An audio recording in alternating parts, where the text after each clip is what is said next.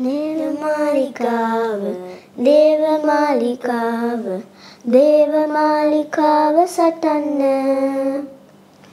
ගෑනු ළමයි උදව්වෙන් පිරිමි ළමයි උදව්වෙන් දේවමාලිකාව සටන්න. දේවමාලිකාව දේවමාලිකාව දේවමාලිකාව සටන්න.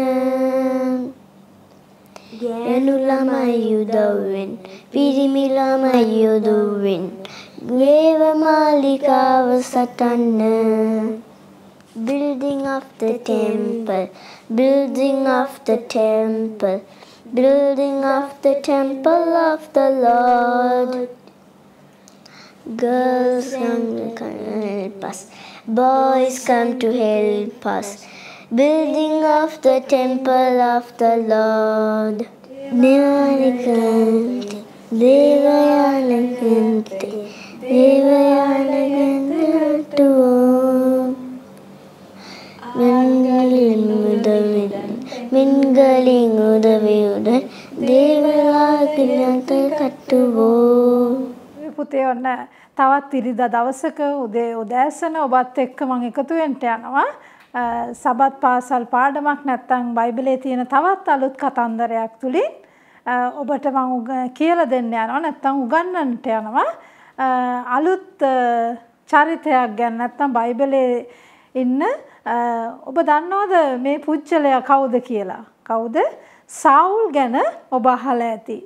මම හිතනවා ඔබ ගෙදර ඉන්නකොට මේ දවස්වල බයිබලේ කියවන්න ඇති නේද? ගොඩක් දේවල් හොයන්න ඇති බයිබලේ. බයිබලේ පුතේ මේක තියෙන්නේ ක්‍රියාපොතේ 9 වෙනි පරිච්ඡේදයේ. ඉතින් අපේ ලොකු දරුවෝ ඉන්න ඔයගලන්ට පුළුවන් බයිබලේ අරගෙන මේ කොටස කියවන්න ගෙදර ඉඳගෙන. පුතේ මේ සාවුල් තාර්සිස් වල ඉපදිච්ච හොඳින් ව්‍යවස්ථාව ගැන දැනගෙන හිටපු කෙනෙක් තමයි සාවුල්. ඔහු හොඳට දැනගෙන හිටියා යුදෙව් ව්‍යවස්ථාව. නේද මං කියන්නේ හොඳ දැනුමක් තියෙන පුජ්‍යලයක් තමයි පාවුල්. ඔහු මේ ව්‍යවස්ථාවේ තියෙන නීති රීති කොහොමද ඔහු ඉගෙන ඔහුට හිටිය ගුරුවරයෙක්. සමහර වැඩිහිටි දරුවෝ දන්නවා ඇති. කවුද සාවුල් ඉගෙනගත්ත ගුරුවරයා? ගමාලියල් කියන ගුරුතුමා යටතේ තමයි ව්‍යවස්ථාව ඉගෙන ගත්තේ සාවුල්. ඔහු පුතේ දුවේ ඔහු ඔහු ගොඩක් ඔහු දෙවියන් වහන්සේට ගරු කරා. හැබැයි ඔහු මේ දේවල් නීති ආරක්ෂා කරන්න මේ සියල්ල දැනගෙන හිටියා. නමුත් ඔහු යේසුස් වහන්සේ ගැන දැනගෙන හිටියේ නෑ පුතේ දුවේ. අද දවසේ අපි බලන්ට යන්නේ මේ සාවුල් කියන ඔබ නැත්තම් ඔබට හුරු වචනය පාවුල් තුමා ගැනයි අද අපි ඉගෙන ගන්න. අපි බලන්න යමු මේ සාවුල්ගේ වෙනස් වීම කොහොමද සිද්ධ වෙන්නේ කියලා. මං කිව්වනේ පුතේ මේ සාවුල් දැනගෙන හිටියේ නෑ යේසුස් වහන්සේ ගැන. ඉතින් යේසුස් වහන්සේව අදහපු යේසුස් වහන්සේට ආදරය කරපු සෙනග ගැන සාවුල් දැනගෙන හිටියේ නෑ. ඒ නිසා මොනවද කරන්නේ? මේ සාවුල් යනවා යෙරුසලම හිටියේ උත්තම පූජකයා යුදේ උත්තම පූජකයා ළඟට ගිහිල්ලා ඔහුට ඕනේ මේ යේසුස් වහන්සේව අදහගත්ත යේසුස් වහන්සේට ආදරය කරපු අයට ඔහු කැමති වුණේ නැහැ. ඒ නිසා ඔහු ඒ සෙනඟට පීඩා කරන්න ඔහු සිතාගෙන ඔහු යනවා ගිහිල්ලා මේ උත්තම පූජකයාගෙන් අවසර පත්‍රයක් අරගෙන එන්න අනිත් නුවරවල් වල ඉන්න සෙනග ගිහිල්ලා ඔහුන්ට විනාශ කරන්නට.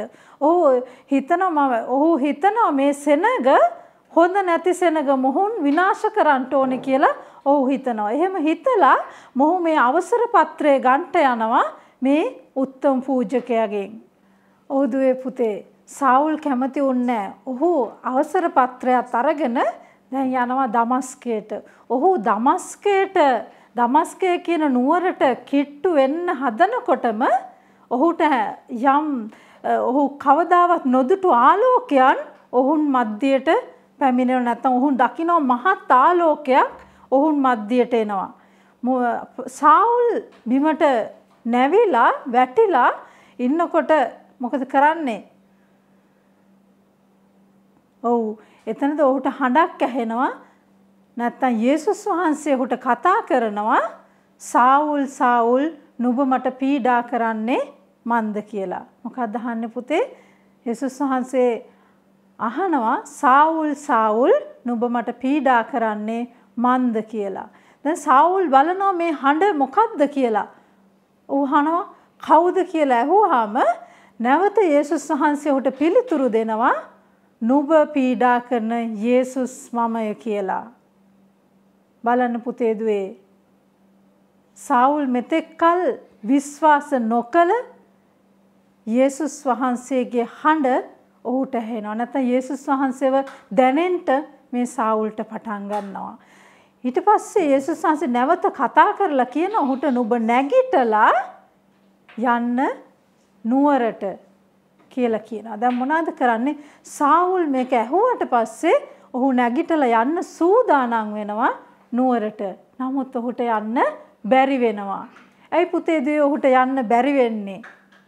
ඔබ මීට කලින් මේ කතන්දරය අහලා තියෙනවා නම් ඔබ පල්ලේ ඉන්නකොට ඔබගේ දේවගත්තුමා දේශනාවකදී පවසලා තියෙනවා නම් ඔබට මතකද? ඇයි ඔහුට යන්න බැරි වුනේ? අපි බලමු ඇයි යන්න බැරි වුනේ කියලා. ඔහු ඒ ස්ථානයේ නැගිටලා පුතේ දුවේ. ඔහු පිටත් වෙනවා නුවරට යන්න නැත්නම් දමස්කයට යන්න. හැබැයි මොකද උනේ යම් වෙනසක් සිද්ධ වෙනවා. වෙනද සාවුල් නැගිටලා ජොලිතව ගියාට අද ඔහුට යන්න බෑ. මොකද උනේ ඔහුගේ දැස් දෙක ඔහුට පේන්නේ ඒ නිසා ඔහුට යන්න බැරි වෙනවා. ඒ නිසා මොනවාද වෙන්නේ? නැගිටලා ඔහු අවට සිටිය ඔහුගේ ඔහුත් සමග සිටිය අය ඔහුව අල්ලගෙන යනවා කොහෙටද? දමස්කයට යන පිණිස ඔහුට උදව් කරනවා යන්න. ඔහු යනවා දමස්කේ හිටියා යූදස් කියලා මිනිස්සෙක්. ඔහුගේ නිවසට තමයි මොහොන් රැගෙන යන්නේ කාවද? සාවුල්ව. රැගෙන යනවා එම නිවසට. ඔව් පුතේ දැන් සාවුල් ඉන්නවා ඒ නිවසේ මං කව දවස් තුනක් ඔහු නොකා නොබී සිටිනවා කියලා. ඉන්නකොට ඉන්න අතර මොකද වෙන්නේ? දැන් ඔහුට කිසි දෙයක් පේන්නේ නැහැ. ඔහු නොකා නොබී ඉන්නවා. මේ අතරතුර මොනවාද කරන්නේ? යේසුස් වහන්සේ තවත් යේසුස් වහන්සේගේ ගෝලයෙක්ට කතා කරනවා. ඔහු සිටියේ දමස්කේ. ඔහු තමයි අනනියස්. මේ අනනියස් යාඥා කරගෙන සිටින අතර යේසුස් වහන්සේ ඔහුට දර්ශනය වෙලා කතා කරනවා. කතා කරලා කියනවා සාවුල් කියලා පුජ්‍යලයක් ඉන්නවා. ඔහු ඉන්නේ යූදස්ගේ නිවසේ ඔබ ගොස් ඔහු මත හිස්තා හිස ඔහුගේ ඔහු මත අත්තබලා නුඹ ගිහිල්ලා යාඥා කරන්න ඕනේ කියලා. දැන් මෙහෙම කිව්වහම මොකද වෙන්නේ? අනනියස් පුදුමයටපත් වෙනවා නැත්නම් ඔහු විශ්මයටපත් වෙනවා. මොකක් නිසාද? සාවුල්ට යාඥා කරන්න කිව්වහම මොකද? මං කිව්වා පුතේ මේ කතන්දරේ පටන් ගන්නකොට මොකද? සාවුල් කොයි වගේ කෙනෙක්ද? නේද? සාවුල් යේසුස් වහන්සේට ආදරය කරපු අයට පීඩා කරපු කෙනෙක්. ඒ නිසා අනනියස් බය වෙනවා. අනනියස් ඉඳන් කියනවා ස්වාමිනී මේ පුජ්‍යලයා ඔබ වහන්සේගේ දරුවන්ට නැත්නම් ඔබ වහන්සේට ප්‍රේම කලායට පීඩා කරපු කෙනෙක්. ඔබ වහන්සේ ඇයි දැන් මට කියන්නේ ඔහු වෙතට යන්න කියලා. නැවත ඒසංශය ඔහුට කියනවා නුඹ එහි යන්න ඕනේ මන්ද? ඔහු අන්‍ය ජාතිකයන්ට. ඒ කියන්නේ පුතේ දුවේ අන්‍ය ජාතිකයන් කියන්නේ යුදෙව් නොවිච්ච නැත්නම් යේසුස් වහන්සේට ඔවුන් ඔවුන් විශ්වාස කරා නේද?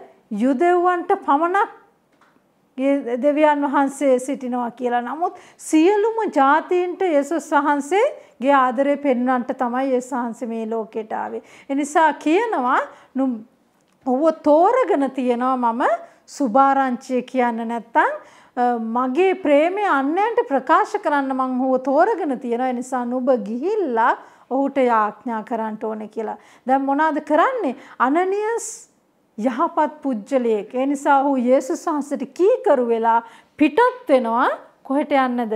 ඔහු සාවුල් සිටිය ස්ථානයට යන්න.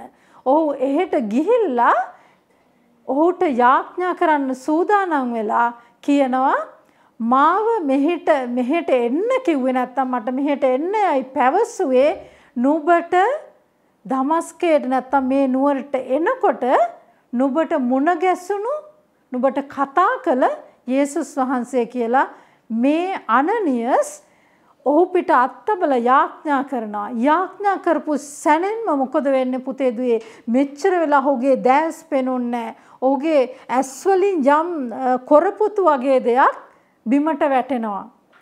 ඒ වැටුණත් එක්ක මොකද වෙන්නේ පුතේ?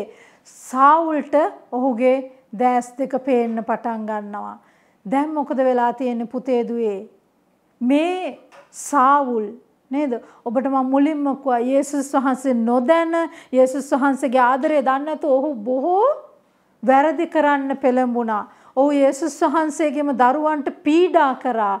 නමුත් දැන් සාවුල්ට යේසුස් වහන්සේ මුණ ගැහිලා තියෙනවා. සාවුල් වෙනස් වෙච්ච කෙනෙක්. මගේ දුවේ පුතේ අපිත් යේසුස් වහන්සේට ආදරේ නම් අපි යේසුස් වහන්සේ අපි වෙනුවෙන් උන්වහන්සේ කුර්සිපත් වුණා කියලා විශ්වාස කරනවා නම් මගේ පුතේ දුවේ අපි කොහොම දරුවන් වෙන්න ඕනේද? අපි නරක වැඩ නොකරන හොඳ දරුවන් වෙන්න ඕනේ. ඒ වගේම අපිට පුළුවන් යේසුස් වහන්සේ වෙනුවෙන් සේවය කරන්න. යේසුස් වහන්සේ ගැන ඔබේ යාළුවන්ට යේසුස් වහන්සේ නොදන්න වෙනත් ජාතිය වෙන්න පුළුවන් වෙනත් ආගමික අය වෙන්න පුළුවන්. ඔවුන්ට අපට කියන්න පුළුවන් යේසුස් වහන්සේ මට ආදරය කරනා වගේම ඔබටත් යේසුස් වහන්සේ ආදරය කරනවා කියලා. ඉතින් මගේ පුතේ දුවේ මොනවාද? සාවුල් මෙහෙමද දැන් යේසුස් වහන්සේ අඳුනගත්තා කියලා කිව්වනේ. ඊට පස්සේ ඔහු මොනවාද කරන්න යන්නේ? ඔහු ගිහිල්ලා දමස්කේ ඉන්න සෙනගට මේ ඔහුට මුණ ගැහුණු යේසුස් වහන්සේ ගැන කියන්ට යනවා. නැත්තම් ප්‍රකාශ කරන්න යනවා. ඔහු අපි මේකට කියනවා සුභාරංචිය කියලා. නේද පුතේ? දුවේ ඔබට පුළුවන් ඔබ දකින්නේ මේකයි මේ කතන්දරය තුලින් මොනවාද කරන්නේ පාවුල් තුමා ගිහිල්ලා යේසුස් වහන්සේගේ ආදරය අන් අයට ප්‍රකාශ කරනවා. ඔවුන් පිළිගන්නේ නැද්ද? අපි බලමු පුතේදී ඔහු ප්‍රකාශ කරන්න යනවා සෙනග සාවුල්ව පිළිගත්තද නැද්ද කියලා. අපි බලමු පුතේ ඊළඟ දවසේ නැත්නම් ඊළඟ ඉරුදින අපි බලන්න යනවා යේසුස් වහන්සේ පිළිගත් සාවුල් සෙනග පිළිගන්නවද නැද්ද කියලා. ඒ කෙසේ වෙතත් මගේ දුවේ පුතේ ඔබ යේසුස් වහන්සේව අඳුනගන්න කවුද මේ යේසුස් වහන්සේ? යේසුස් වහන්සේ අපට කොහොමද ආදරය කරේ? උන්වහන්සේ මේ ලෝකෙට ඇවිල්ලා ඔව් අපි වෙනුවෙන් කුර්සිපත් වෙලා උන්වහන්සේ නැවත නැගිටලා අද අප අතරම ජීවත් වෙමින් උන්වහන්සේ අපට ප්‍රේම කරනවා. ඉතින් පුතේ දුවේ යේසුස් වහන්සේ අදාහගත්ත ඔබමා යේසුස් වහන්සේගේ ප්‍රේමය අන් සියලු දෙනාට ප්‍රකාශ කරමු. නැත්නම් ඒ අපි අන් අයට පෙන්වමු. එහෙම කරන්න මගේ පුංචි දුවේ පුතේ ඔබට දෙවියන් වහන්සේ ආශිර්වාද කරන සේක්වා. ජෙස්පේටයි.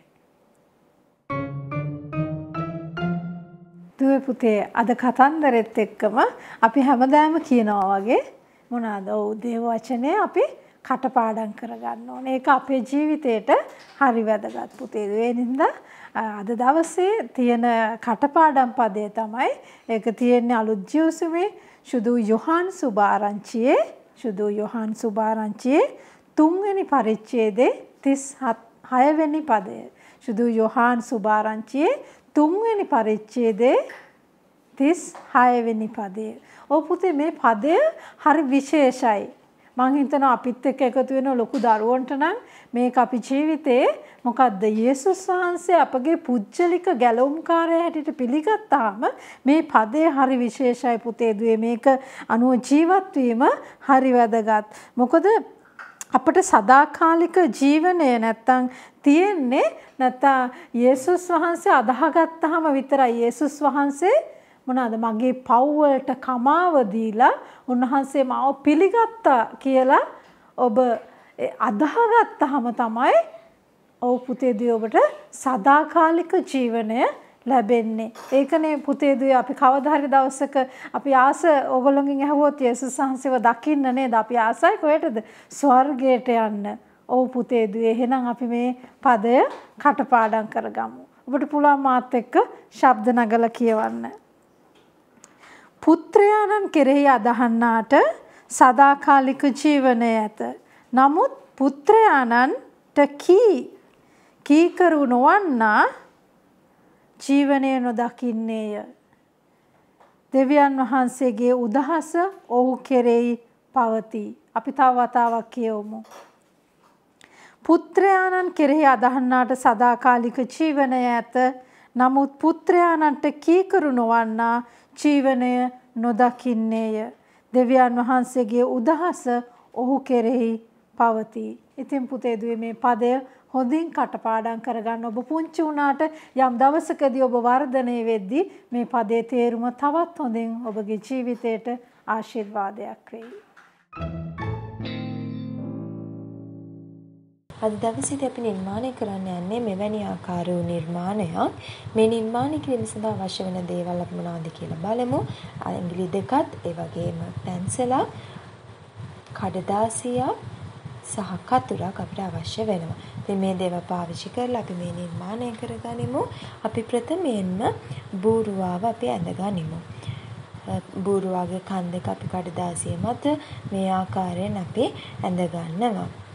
ඉන්පසු බූරුවාගේ මුහුණ අපි මේ විදිහට සී අකුර අනිත් පැත්ත හැරෙවුව ආකාරයේ හැඩතලයක් පාවිච්චි කරමින් අපි මේ විදිහට බූරුවාගේ මුහුණ නිර්මාණය කරගන්නවා.